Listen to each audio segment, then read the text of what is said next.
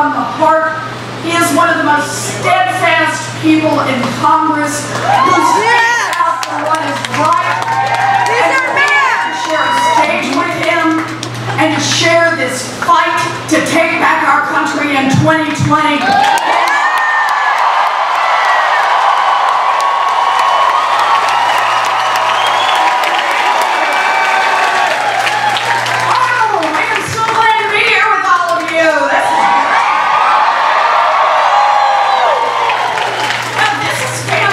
Me. So, I'm here. I brought my sweetie with me. Where are you, honey? My husband.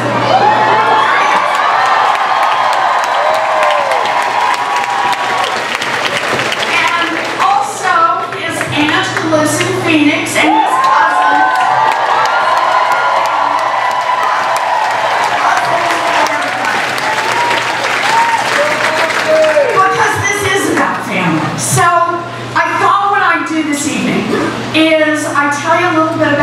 myself, uh, tell you a little bit about why I'm in this fight, and then uh, we'll just do some questions and get this done. And then, like I said earlier, if anyone wants to stay for a selfie.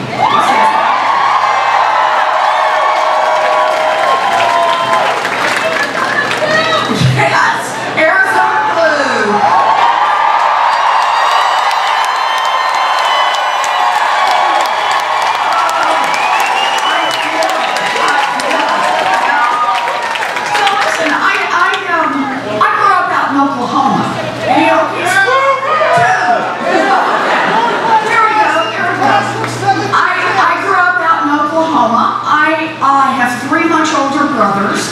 They are to this day referred to as the boys.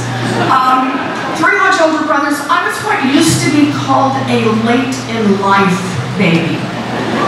My mother always just called me the surprise. Um, all three my brothers, uh, when they grew up, they all went off and joined the military. Uh, my oldest brother, Don Reed, uh, career military, spent about five and a half years off and on in combat in Vietnam. We were very lucky to get him back home. Yeah. My second brother, John, uh, he spent over a year stationed overseas. My third brother, David, trained as a combat medic. And as a result of that, we have a role in our family, and that is never choke around David. The reason for that is even today, he carries a sharpened pocket knife and he is sure he can perform an emergency tracheotomy. As it makes for some very exciting Thanksgivings. Uh, anybody starts to go, and it's like, not me, not me there. I'm close to my brothers. I love my brothers. In fact, just talked to two out of the three today. Um, when we were growing up, our daddy had a lot of different jobs. He sold paint, he sold fencing, uh, he sold hardware, he sold carpeting. And when I was in middle school, the boys were all gone by then. And so it was just my mom and my daddy and me. And my daddy had a massive heart attack. And for a long time, we thought we might lose him. He made it through, but he couldn't work for a long, long time. And I remember the day that we lost the family station wagon. I remember the nights when my mother would tuck me into bed, give me a kiss, and I'd hear her close the door and start to cry. I remember lying in bed and hearing my parents talk. And I, that's when I learned words like mortgage and foreclosure. And so one day I walked into my folks' bedroom and laid out on the bed was the dress. Now, some of you in here may know the dress. It's the one that only comes out for weddings, funerals, and graduations. And there's my mother pacing. She's in her slip and her stocking feet, and she's saying, we will not lose this house. We will not lose this house.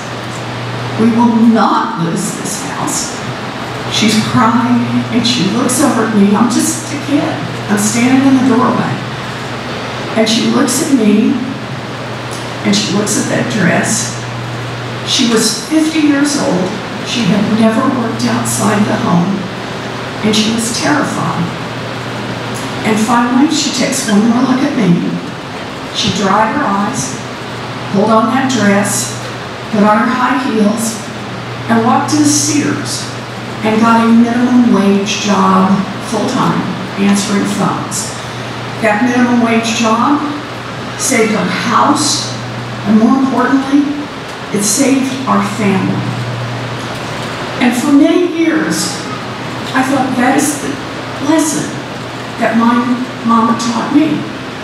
And that is, no matter how hard it looks, no matter how scared you are, when it comes down to it, you reach down deep, you find what you have to find, you pull it up, and you take care of the people you love.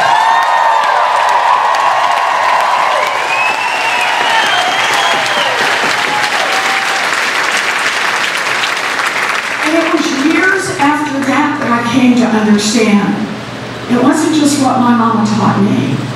It's what millions of people across this country do every day. No matter how hard it looks, no matter how scared they are, they reach down deep, they find what they have to find, they pull it up, and they take care of the people they love because that's what Americans do.